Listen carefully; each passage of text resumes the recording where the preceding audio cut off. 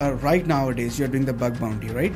How you think like ai is helping you to do the bug bounties and like helping you in the automation?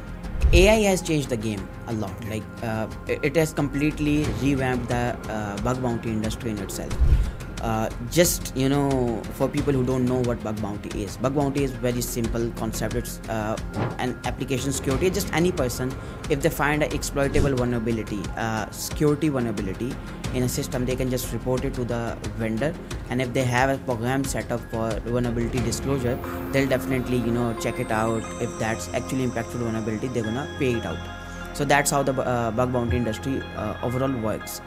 And uh, in the era of ai it has changed. Ai uh, if we talk about what ai is doing ai is actually a helping hand right now for bug hunters to uh, you know play around at at at a speed that we have never seen before. Like in reconnaissance. Yeah eh, not in, just in, in, reconnaissance, enumeration in, in, in everything